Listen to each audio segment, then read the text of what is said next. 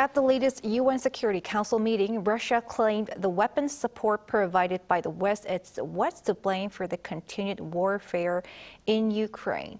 But Russia's weapons deal with North Korea is what the international community says it's sparking concerns. Our defense correspondent Choi Min-jung reports. Russia has blamed the West for prolonging the war in Ukraine. Speaking at a UN Security Council meeting convened at the request of Russia on Monday, Foreign Minister Sergey Lavrov slammed the West for providing military support to Ukraine, which he said is hindering peace negotiations. Today, the absolute majority of unbiased experts see very clearly that the key factor which impedes ways towards a peaceful settlement of the Ukrainian crisis is continued support on the part of the West to the regime in Kiev. The U.S. was quick to dismiss the comments and turned the spotlight on Russia's use of weapons provided by North Korea.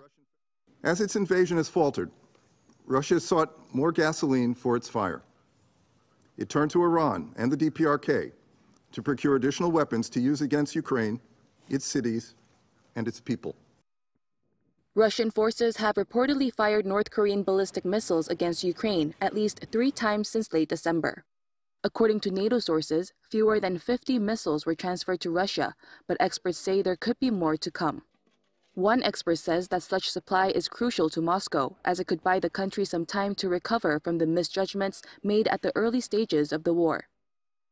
Russia could reorganize its battle lines and armaments while delaying the war in Ukraine by using weapons provided by North Korea and Iran. Once it's ready to launch a major offensive, the situation may again be in Russia's favor. North Korean made weapons were deployed to Russia after the leaders of the two held a summit last September. That being said, representatives from 46 countries, including South Korea, the US, and Japan, and those in the EU, issued a joint statement before Monday's meeting, accusing Russia of hypocrisy. Russia has denied using North Korean weapons in the war against Ukraine.